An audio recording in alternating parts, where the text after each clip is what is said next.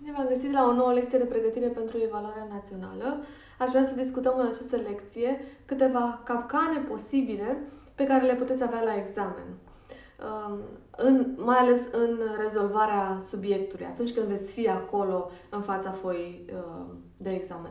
Vă recomand în această perioadă, pentru că mai aveți o săptămână până la examen, vă recomand să stați la masă să rezolvați câteva simulări în același fel în care ați rezolvat subiectul și la examen. Adică să vă puneți în față un subiect de examen, un test și să lucrați în două ore, în tocmai cum ați face la examen, având lângă voi doar o ciornă și pixuri sau stiloul cu care scrieți. Începem așadar să discutăm despre capcanele posibile și voi începe să discut despre subiectele de gramatică și gradual trecem la subiectele de literatură. Prima capcană. Atenție la subiectele de fonetică, pentru că acolo, în fiecare an la examen, apar probleme și dificultăți, mai ales în ceea ce privește grupurile CECI, GEGI, CHECHI, GEGI și dacă acestea participă sau nu participă la diftong.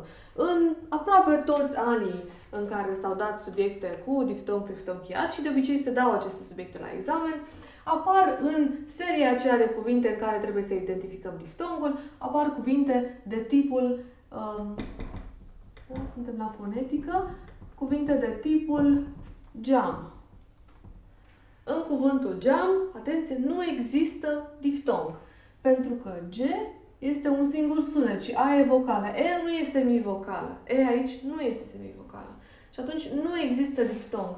Țineți minte lucrul acesta. Foarte mulți copii greșesc și foarte mulți copii greșesc la examen la acest exercițiu. De asemenea, în cuvântul uh, în verbul plângeau, pe care îl despărțim așa, plângeau. Nu există triftong, dar există un diftong. G este un sunet și AU este un diftong cu A vocală și U semivocală. Deci aici avem de-a face cu un diftong. Dar în niciun caz nu avem de-a face cu un triftong. Aceasta este una dintre capcanele uh, posibile și aveți mare atenție, aveți mare grijă la cuvintele acestea cu grupurile ceci, gegi, chechi, gechi. Grupurile acestea nu participă la formarea diftongului sau a triftongului. Da? Aici nu există diftong, în niciun caz. Nu avem de face cu diftong. Bun. O a doua capcană. La funcții sintactice. Dacă vi se cere la unul de la unul dintre exercițiile de gramatică, la 4 de obicei, vi se cere să identificați sau la 5 funcțiile sintactice ale unor cuvinte și cuvintele acelea fac parte dintr-o frază.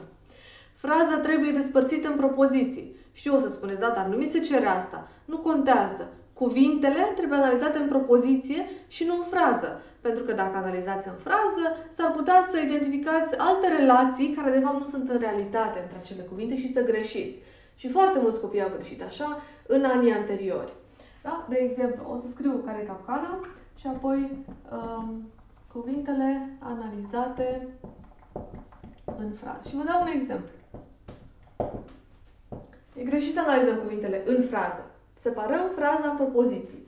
De exemplu, copilul pe care l-ai întâlnit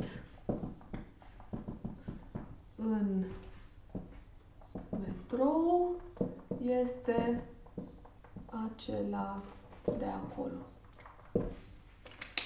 Dacă ni se cere să analizăm un cuvânt din fraza aceasta, adică să precizăm funcție sintactică, de exemplu, sau valoare morfologică și funcție sintactică, chiar dacă nu vi se cere să analizați fraza, ar trebui să separați fraza în propoziții. Pentru că altfel există tentația să greșiți și să identificați, mai ales se confundă aici subiectul cu complementul direct. Și aici vedem pe care este element de relație, înseamnă că separă așa, pe care l-ai întâlnit în metrou este acela de acolo. Nici măcar nu e nevoie să numărați propozițiile, pur și simplu separați fraza în propoziții, să vedeți care sunt propozițiile. Și dacă vi se cere, de exemplu, să identificați funcția cuvântului L, cuvântului L, l-ai întâlnit, vă gândiți și puneți întrebarea în propoziție, nu în frază. O să citiți doar propoziția. L-ai întâlnit în metrou. Pe cine ai întâlnit? Pe el, îl, complement direct în acuzativ. La fel, dacă se cere pentru pronumele relativ pe care, pe el l-am întâlnit. La fel, complement direct în acuzativ. Unde l-am întâlnit? În metrou. Circunstanțial deloc în acuzativ. Copilul este subiect pentru predicatul este acela.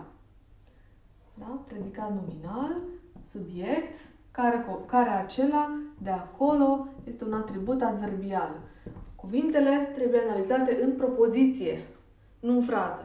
Dacă mi se cere să analizez uh, substantivul copilul, să, da, să spun uh, care e funcția sintactică, mă uit la propoziția din care face parte, adică copilul este acela de acolo. Dacă mi se cere, știu eu, substantivul metro, mă uit la propoziția din care face parte, adică pe care l-ai întâlnit în metro. Puteți să aveți și fraze mai mari. Am dat un exemplu de o frază formată din două propoziții. În orice caz, e important să separați fraza în propoziții. O faceți pe ciornă, unde vreți voi. Nu contează doar să identificați propoziția din care face parte cuvântul. Bun, a treia capcană posibilă. 3. Completiva directă se confundă adesea cu completiva prepozițională. Și uh, la fel la exercițiile acelea de gramatică, unde trebuie să identificați frazele, să stabiliți tipul subordonatelor într-o, uh, dintr-o frază. Orice frază are măcar o propoziție principală.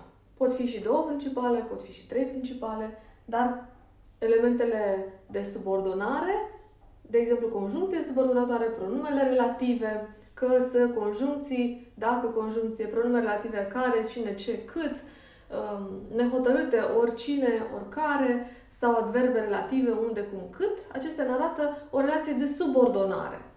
Da? Adică aceste propoziții care încep cu aceste cuvinte sunt propoziții secundare. Și aveți pentru examen completiva directă, indirectă, prepozițională și atributiva. Mari probleme sunt aici. Completiva directă se poate confunda cu prepoziționala, dacă nu sunteți atenți. Și vă dau un exemplu. El m-a constrâns să îi dau tema. Nu e un lucru foarte frumos. El m-a constrâns să-i dau tema.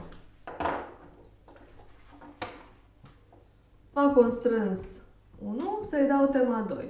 Conjuncția subordonatoare să mi arată că e vorba de o relație de subordonare, că propoziția a doua depinde de prima, da? Și pot să întreb așa, ce m-a constrâns să-i dau tema? Și ar părea că propoziția a doua e completivă directă. Sfatul meu pentru voi, atunci când puneți întrebarea ce, Totdeauna când puneți întrebarea ce și se pare că propoziția ar, ar răspunde la întrebarea ce, este să luați verbul deoparte, verbul regent de care depinde și să încercați să vedeți dacă verbul acesta um, are, poate primi după el un complement direct sau mai degrabă un complement prepozițional. Și luăm verbul. M-a constrâns. M-a constrâns ceva, e sensul de aici, sau m-a constrâns cu ceva. Care credeți că e sensul? M-a constrâns ceva? Nu. M-a constrâns cu ceva. M-a constrâns să-i dau tema. Și atunci, vedeți, întrebăm cu ce m-a constrâns să-i dau tema. Și atunci propoziția a doua, care aparent era completivă directă, este de fapt completivă prepozițională. Foarte mare atenție aici. La aceste situații dacă puneți întrebarea ce, luați verbul deoparte și încercați să adăugați un complement direct sau un complement prepozițional. Și eu am folosit aici un pronume nehotărât, cel mai, uh, cel mai simplu, ceva și aici cu prepoziție. Și o să vedeți dacă e vorba de o completivă directă sau una prepozițională. Acestea, încă o dată, se pot confunda foarte ușor. Vă mai dau un exemplu, dacă vreți. Mi-am dat seama că plouă. Separăm așa, mi-am dat seama 1, că plouă 2, că elementul de relație. Cum întrebăm? Evident, a doua este subordonată pentru că uh, e vorba de că, elementul de relație este că, o conjuncție subordonatoare. Putem să întrebăm ce mi-am dat seama că plouă. Da. Am putea întreba și așa, dar luați verbul, locuțiunea verbală deoparte. Și vă gândiți, mi-am dat seama și adăugați complementul direct ceva sau mi-am dat seama de ceva. Mi-am dat seama de ceva.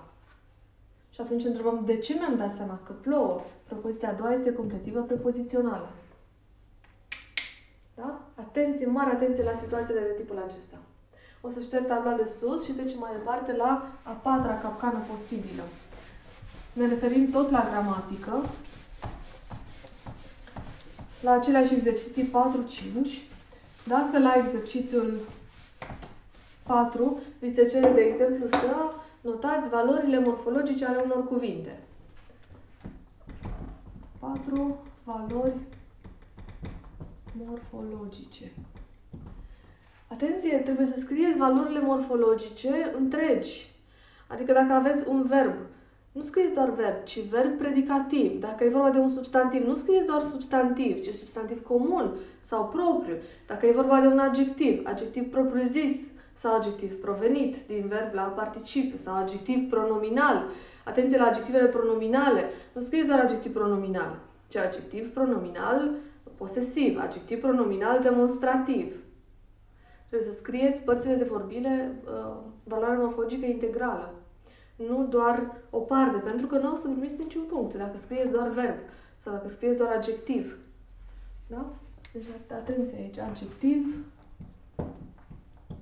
propriu zis. Scriem verb predicativ. Sau, eu știu, verb copulativ. substantiv comun. Da? Adjectiv pronominal pronominal posesiv, de exemplu. Părțile de vorbire notate integral, nu, uh, nu doar o parte din acestea. Nu folosiți prescurtări la acest exercițiu, la niciun exercițiu. Nu aveți voie să folosiți prescurtări. Știu, știu că voi să lucrați la școală folosind prescurtări, pentru că lucrați poate mai repede. Dar la examen nu scrieți cu nicio prescurtare. Scrieți toate literele. Adjectiv propriu-zis. Verb predicativ. Pentru că ori profesorul poate nu înțelege, ori, da, da dacă nu e scrisă rezolvarea, nu primiți punctajul. Punctajul se acordă pentru rezolvare. Deci scrieți cuvintele întregi. Pe ciornă puteți să scrieți cum vreți voi. Ciorna nu se Uh, nu, nu primește puncte, dar pe subiectul, pe foaia de examen, trebuie să scrieți părțile de vorbire, așa, da, cum uh, forma lor uh, întreagă și fără nicio prescurtare. Nicio prescurtare în general la gramatică. Întotdeauna scrieți cuvintele întregi. A cincea capcană. La exercițiul uh, 6, acolo unde se cere să construiți enunțuri. A fost uh, recent un exercițiu la 6 în care vi se cerea să construiți un enunț în care cuvântul această să fie pronume demonstrativ și să apară într-un enunț, nu mai știu, interogativ, negativ, nu contează, și să aibă o funcție sintactică dată. Atenție la aceste cuvinte, mai ales când, când vi se cere funcția de atribut. Cuvântul această, pronumele aceasta, este atribut atunci când stă în acuzativ sau în genitiv. Atenție să nu-l faceți adjectiv pronominal. Dacă în cerință scrie pronume, pronumele demonstrativ aceasta să fie atribut, în enunțul vostru trebuie să fie pronume demonstrativ, nu adjectiv pronominal demonstrativ. Da? Deci a, a șasea capcană este distinția pronume adjectiv pronominal.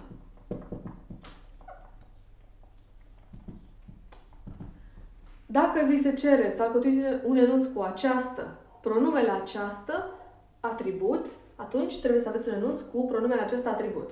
Da? Și asta înseamnă că trebuie să-l puneți în acuzativ sau în genitiv. De exemplu, uh, cartea acestuia este pe birou. A cui carte? A acestuia. Aici acestuia nu se acordă cu cartea în gen număr și caz.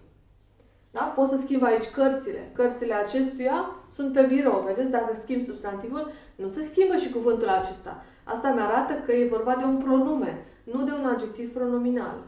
Și observăm și diferența de caz. Cartea este subiect, cine este pe, pe birou cartea, a cui cartea acestuia, subiectul stă în nominativ, Aici avem de-a face cu un atribut în genitiv. A cui carte? A acestuia. Da? Deci trebuie să fie ori în genitiv, ori în acuzativ. Un exemplu de acuzativ ar fi cadoul de la acesta mi-a plăcut. De la aceasta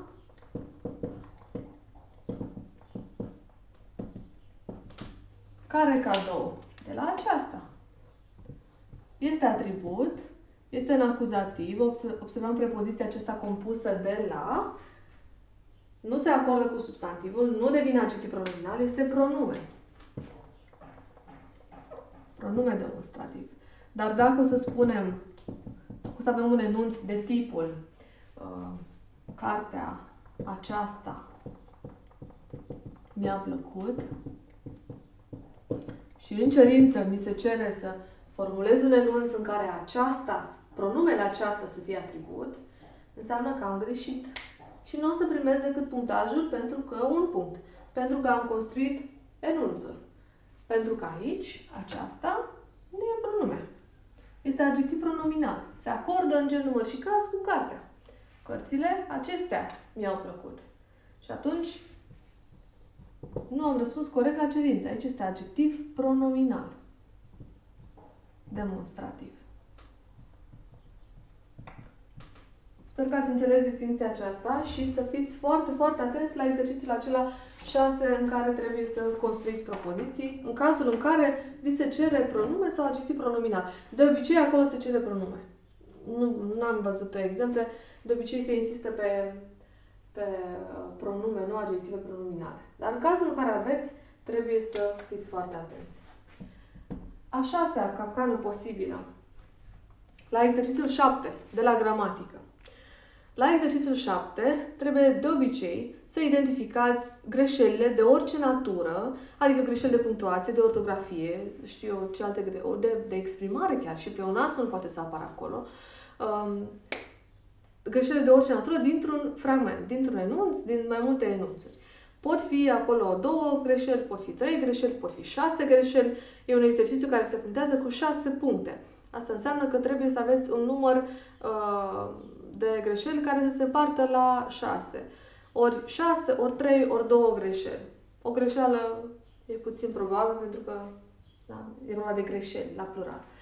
Bun, dar dacă voi identificați greșelile și vă dați seama foarte bine că e vorba de șase greșeli, să zicem, și le găsiți pe toate șase și le evidențiați pe ciorna voastră, dar când transcrieți enunțurile, faceți o altă greșeală, atunci o să pierdeți puncte.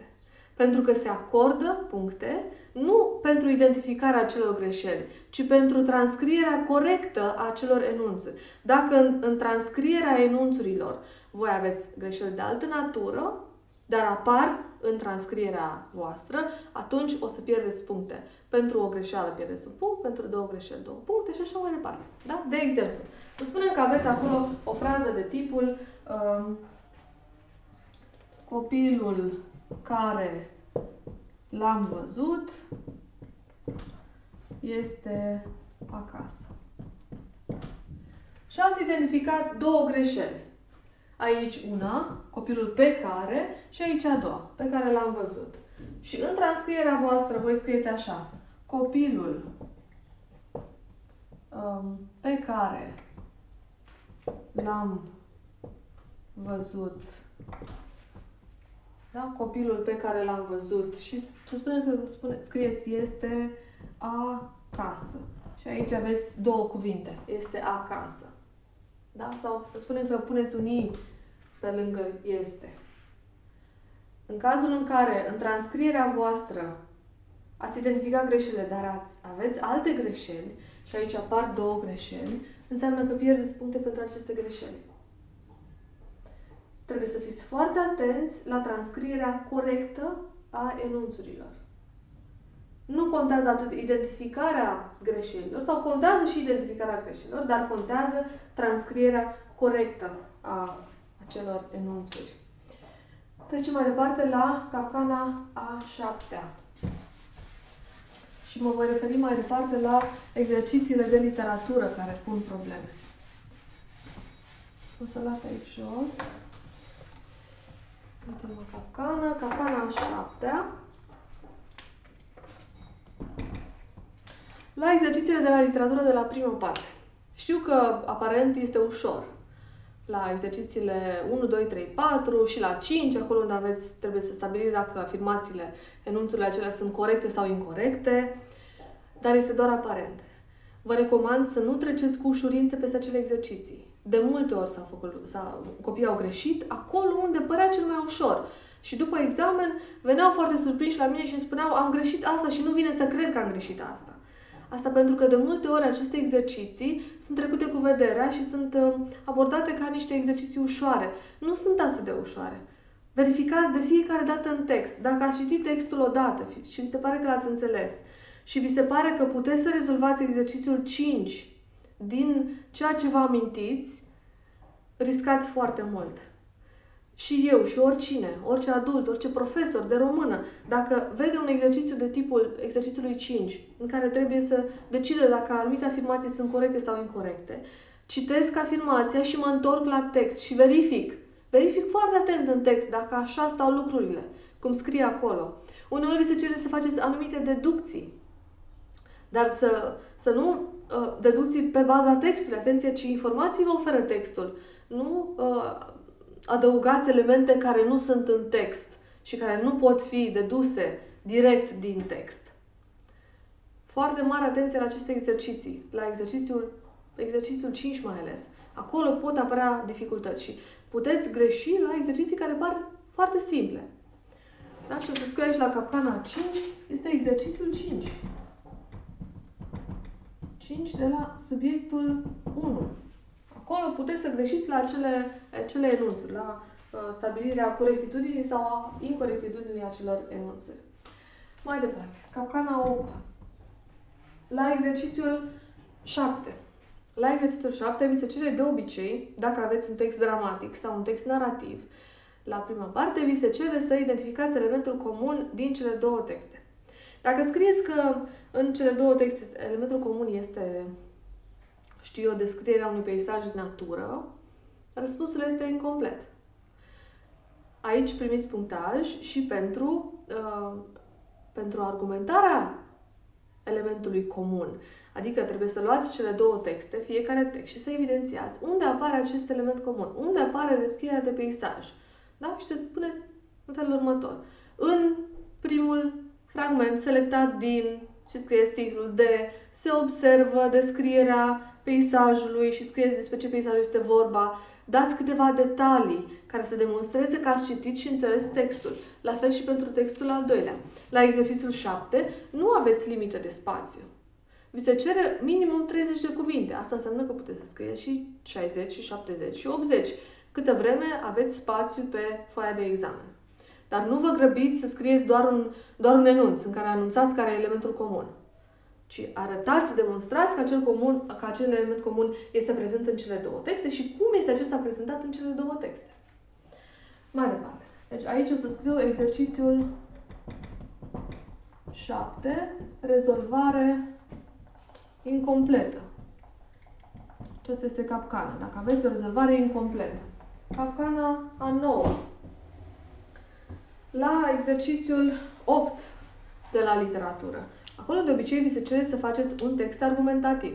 Aveți o idee, un răspuns la o întrebare, un răspuns pe care trebuie să-l formulați și răspunsul acela trebuie argumentat cu citate din text. Uh, și mă gândesc aici, de exemplu, la uh, ultimul test de antrenament, testul 15, poate vă ieși și vă o proaspăt în minte. Acolo vi se cerea să răspundeți la o întrebare de tipul credeți că dacă uh, că putem depăși obstacolele printr-o voință puternică?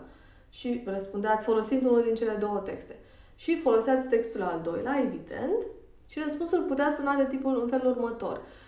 Din punctul meu de vedere, vedeți, vă exprimați opinia, din punctul meu de vedere, un obstacol poate fi depășit atunci când avem o voință puternică și apoi aplicați pe text.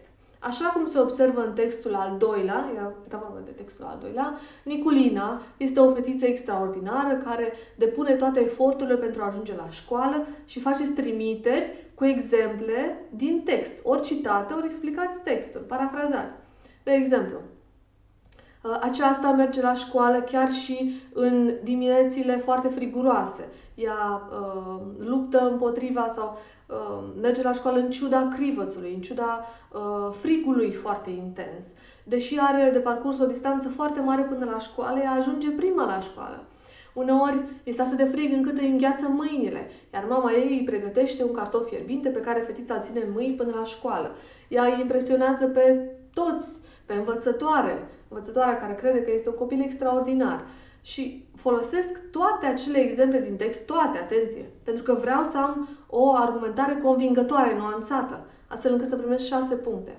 Folosesc toate acele exemple din text pentru a arăta că acel, acea persoană, acel personaj depășește obstacolele.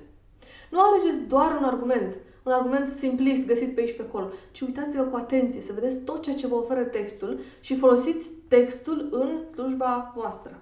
Cât de bine puteți, cu cât mai multe trimite și exemple din text. Bun, la fel, la 8, rezolvare incompletă. Incompletă, exercițiul 8. A 10-a capcană, exercițiul 9.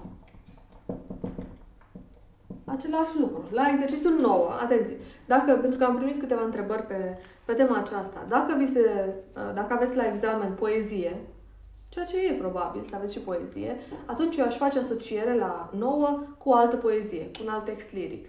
E mult mai ușor, sunt mult mai evidente asemănările și deosebirile și um, puteți să asociați, să spunem, și cu un text în proză, dar mai degrabă cu textele în proză care reprezintă descrieri.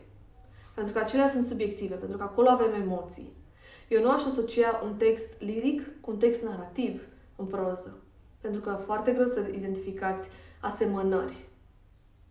Și atunci mai degrabă mergeți pe poezie cu poezie, proză cu proză. Text dramatic poate și cu proză și cu text dramatic, pentru că aveți personaje și într-o parte și în cealaltă. Uh, aici e dificultatea la poezie. Pe de altă parte, la exercițiul 9, nu, um, nu treceți cu rapiditate peste formularea asemănării și a deosebirii. Acestea trebuie să, prin acestea trebuie să demonstrați că știți foarte bine textele, le cunoașteți în profunzime, dați exemple din text, exemple concrete din text. Nu scrieți că elementul comun este că ambele texte descriu natura. Asta este o, asta este o asemănare superficială. Trebuie să aveți o asemănare nuanțată. Să scrieți. Primul text descrie un peisaj de toamnă, sunt surprinse elemente ale spațiului cosmic și elemente ale spațiului terestru. Sau dacă alegeți, știu, poezia uh, Blacul de Eminescu, pe mulți ați, ați uh, studiat la școală și o știți. Prezintă cele două planuri ale realității și planul imaginației într-un decor feric al naturii. Dați citate din text dacă știți. Folosiți acele poezii pe care le cunoașteți pe din afară. Și ar fi bine să cunoașteți câteva poezii pe de rost. Uh, la fel, la text narrativ sau la text dramatic, cu trimiteri cât mai concrete, cât mai, uh, cât mai detaliate pe text. Nu formulări superficiale și foarte vagi. Nici la asemănare, nici la deosebire. Mai ales dacă știți textele. Nu, uh, nu treceți cu ușurință peste aceste subiecte și să vă treziți apoi cu trei puncte în loc de șase. Pentru că, mai ales dacă cunoașteți textele, folosiți ceea ce stăpâniți, ceea ce cunoașteți, valorificați, fructificați ceea ce știți. Ar fi păcat să nu o faceți. Bun, la fel la exercițiul 9, rezolvare incompletă este o capcană posibilă. Bun, și um, o altă capcană posibilă la uh, 11. La rezumat. Dacă vi se cere la examen rezumatul, atunci trebuie să uh, formulați ideile principale din fiecare secvență din text. Vă împărțiți textul pe secvențe și alegeți, citiți fragmente. Chiar dacă ați citit textul de două ori, îl mai citiți odată când scrieți rezumatul. Dacă eu fac un rezumat al aceluiași text, îl fac de 20 de ori, când trebuie să fac rezumatul a 21 oară, mai citesc o dată textul, pe fragmente, pentru că altfel greșesc. Citesc o secvență, câteva rânduri, îmi notez ideea principală pe ciornă. Ideile principale, nu detaliile, adică ceea ce este important pentru înțelegerea textului, pentru derularea evenimentelor. Folosiți timpul prezent. Nu aveți nevoie de introducere. În acest text este vorba despre cuvintele text, personaje, narator. Nu trebuie să apară într-un rezumat. Uh, vorbirea directă, dialogul, transformați în vorbire indirectă, adică povestiți. Uh, dacă apar cuvinte greșite, cuvinte regionale, arhaice, scrieți forma lor corectă, actuală. Nu scrieți ceea ce credeți voi. Nu interpretați textul, ci doar ceea ce vă oferă textul, doar evenimentele. Cât mai exact, nu vag, ci exact. Adică să nu uh, da, scrieți în general despre ce este vorba. Și de obicei, la rezumat, ar trebui să aveți același numărul de cuvinte indicat. De obicei 150, 160, 170 de cuvinte. Rezumatul nu trebuie să fie prea mare. Da? Deci atenție la formularea rezumatului. Rezumatul pare ușor, dar nu e așa de ușor. Pare ușor, dar e unul dintre cele mai grele exerciții la, la, partea, la partea a doua. Dacă aveți caracterizare, dacă aveți caracterizare de personaj, acolo v-aș recomanda mai degrabă să aveți o compunere mai amplă. Dacă vi se cer două trăsături ale personajului, nu scrieți doar două, scrieți toate trăsăturile pe care le identificați în text. Pentru că profesorii, așa e tendința noastră a oamenilor, să corectăm comparativ. Și acolo unde ni se cere să fim subiectivi, adică să punctăm uh, acea rezolvare uh, convingătoare, nuanțată, care, care valorifică textul, aici apare subiectivitatea. Și trebuie să aveți o, o compunere cât mai amplă, cât mai bine elaborată, care să valorifice cât mai bine textul, astfel încât să-l convingeți pe corector că rezolvarea voastră este nuanțată și e convingătoare. Eu, eu n-aș merge pe două trăsături dacă mi se cer două, ci toate acele trăsături pe care le identific în text. Trăsăturile să fie asociate cu, uh, să fie discutate cu, împreună cu mijloacele de caracterizare, directe sau indirecte, și cu citate din text sau măcar cu o explicație, o interpretare a textului. Să uh, ori așa, ori așa, vedeți ce, ce e mai util. Nu scrieți citate foarte lungi. Într-o compunere de 300 uh, de cuvinte, să spunem, dacă aveți o compunere de 300 de cuvinte, să nu aveți citate mai mari de 3 rânduri. Ar fi un citat mult prea amplu. Aici trebuie să aveți și introducere și o concluzie, o încheiere la compunerea de caracterizare. La partea a doua, uh, pregătiți și rezumatul și caracterizarea, pregătiți și argumentarea unui punct de vedere pe, un, uh, pe o temă dată, pe un subiect care să aibă legătură cu unul dintre cele două texte. Și puteți să aveți și compuneri imaginative, fie un e-mail, fie o scrisoare, fie o notă de jurnal, în care să utilizați anumite tipare textuale date. Aici nu e neapărat nevoie să fiți foarte creativi, dar v-aș sugera să aveți compuneri care să aibă o... Um, care să prezinte o atmosferă veselă, plăcută, uh, să, să, să prezinte o stare de bine, mai degrabă decât uh, texte încărcate sau uh, cu o stare negativă, neplăcută. Cam acestea ar fi capcanele pentru astăzi, pe care vi le prezint astăzi în scrierea subiectului de examen. V-aș sugera de asemenea, ca o încheiere, să folosiți ciorna foarte bine mai ales la exercițiile 7, 8, 9. Acolo se pot pierde puncte foarte, foarte ușor. Par ușoare aceste exerciții, dar sunt de fapt foarte grele. E foarte greu să obțineți 6 puncte pentru toate dintre acestea. Aveți pentru fiecare dintre ele și puncte la redactare. Adică la ortografie, punctuație, exprimare. Da? Toate acestea sunt luate în vedere atunci când vi se punctează exercițiile 7, 8, 9 și compunerea. La fel și la compunere. De aceea Sfatul meu este să folosiți ciorna pentru, șa- pentru 7, 8, 9, dar și pentru compunere. Pentru compunere, fie o folosiți parțial, adică vă formulați câteva idei și uh, câteva idei principale și folosiți acele idei în scrierea compunerii, fie o folosiți integral, dar nu v-aș recomanda totuși să folosiți uh, să scrieți compunerea integral pe ciornă și apoi să o transcrieți, pentru că s-ar putea să nu aveți suficient timp. De aceea, în perioada aceasta, folosiți timpul pe care îl mai aveți și asigurați-vă cum vă organizați timpul la examen. Fiecare este altfel, fiecare scrie altfel, fiecare are un alt ritm în care lucrează. Unii dintre voi poate puteți să scrieți uh, compunerea în totalitate pe ciornă și apoi să o transcrieți. Unii dintre voi scrieți foarte bine compunerea direct pe ciornă și nu aveți greșeli. Trebuie să vă cunoașteți foarte bine și să știți cum reacționați. De aceea vă sfătuiesc să treceți săptămâna aceasta prin câteva simulări pe care să le organizați voi cu onestitate, fără să folosiți, știu, o sursă de inspirație. Voi, în fața unei foi albe, cu un test lângă voi și un ceas uh, fixat pe uh, două ore. Până data viitoare, vă doresc mult succes în pregătirea voastră, aștept alte întrebări și alte sugestii din partea voastră și voi încerca să abordez cât mai multe teme astfel încât să vă, uh, să vă ajut în măsura în care pot și eu. Numai bine până data viitoare!